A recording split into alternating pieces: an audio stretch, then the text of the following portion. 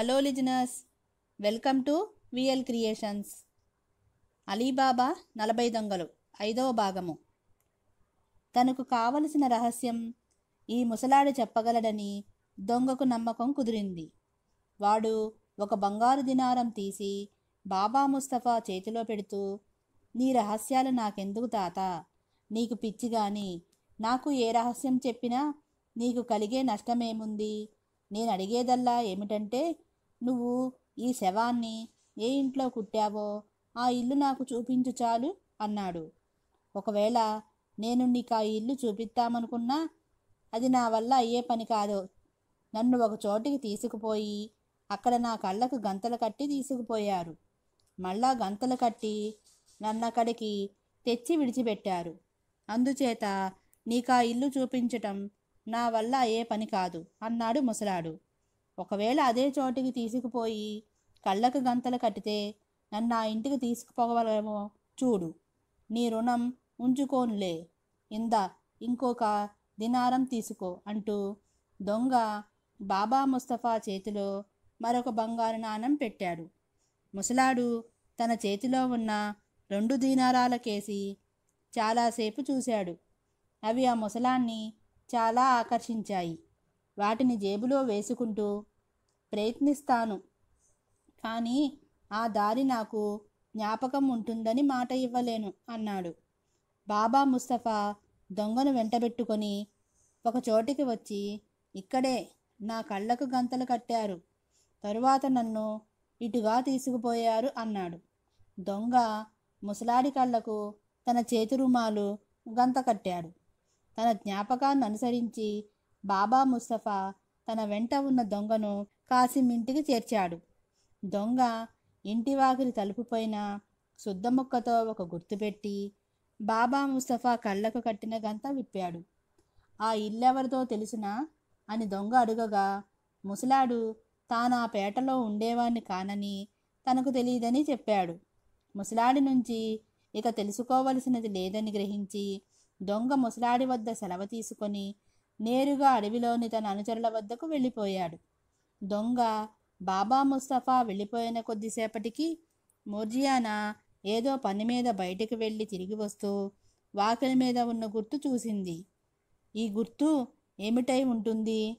నా యజమానికి ఎవరో అపకారం తలపెట్టినట్టుందే. ఎటుపోయి ఎటు వచ్చినా కీడెంచి మేలంచటం మంచిది. అనుకొని మోర్జియానా లోపలికి వెళ్ళి ఒక శుద్ధ ముక్క తెచ్చి తమ ఇంటికి అటు ఇటు ఉన్న వాకిళ్ళకు కూడా అలాంటి గుర్తులే పెట్టింది.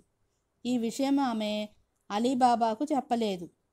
ఈలోపుగా దొంగ తన వారిని చేరుకొని తాను సాధించిన విజయాన్ని గురించి చెప్పారు. అందరూ వాణ్ణి అభినందించారు. తరువాత దొంగల నాయకుడు తన అనుచరులతో ఇలా అన్నాడు. సోదరులారా మనం జాగు చేయరాదు. ఆయుధాలు తీసుకొని మారువేషాలు వేసుకొని నగరంలోనికి వెళ్ళాలి. అందరం కలిసి వెళ్తే అంతా అనుమానిస్తారు. అందుచేత ఇద్దరిద్దరుగా వెళ్ళి అందరము నగరంలోని పెద్ద చౌకులో కలుద్దాం. ఈ లోపుగా నేను ఇల్లు చూసి వచ్చిన మన సోదరుడు కలిసి గుర్తుపెట్టిన ఇంటికి వెళ్ళి పరిస్థితి చూసి వస్తాము. ఆ తరువాత అందరము కలిసి కర్తవ్యం నిర్ణయించవచ్చు. దీనికి అందరూ సమ్మతించారు. దొంగలు ఇద్దరిద్దరుగా చీలి ఒక జత వెళ్ళిన తరువాత మరొక జత చొప్పున ఎవరికీ ఏ అనుమానం కలగకుండా చేరుకున్నారు. దొంగల నాయకుడు ఇల్లు గుర్తుపెట్టిన దొంగ ఆఖరుకు బయలుదేరి అలీబాబా ఉంటున్న వీధికి వచ్చారు. మోర్జియానా గుర్తుపెట్టిన ఇళ్ళలో ఒక చివర ఉన్న ఇంటిని చూడగానే దొంగ ఇదే నేను గుర్తుపెట్టిన ఇల్లు అన్నాడు. దీని పక్క ఇల్లు కూడా ఇలాగే గుర్తుపెట్టి ఉన్నదే అన్నాడు దొంగల నాయకుడు.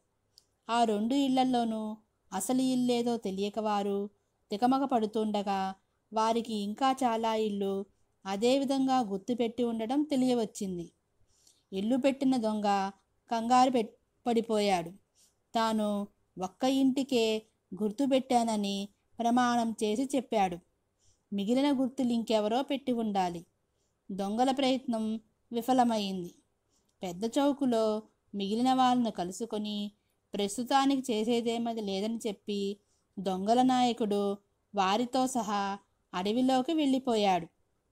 మిగిలిన వారంతా ఎలా వచ్చారో అలాగే తిరిగి వెళ్ళారు. ఇల్లు కనుక్కోవడానికి వెళ్ళి విఫలుడైన దొంగ మరణదండనను ఆహ్వానించాడు. అతనిని శిరచ్ఛేదం చేశారు. వెంటనే ఆ పని పూర్తి చేయడానికి మరొక సాహసి ముందుకు వచ్చాడు. తరువాత వాడు నగరంలోకి వెళ్ళి బాబా ముస్తఫాకు బాగా లంచం పెట్టి అలీబాబా ఉంటున్న ఇల్లు గుర్తు తెలుసుకున్నాడు. అయితే వాడా ఇంటి మీద అందరికీ సులువుగా కనపడిన చోట ఒక ఎర్రగుర్తు పెట్టి తన వారి వద్దకు తిరిగి వెళ్ళాడు. ఇంకా ఉంది.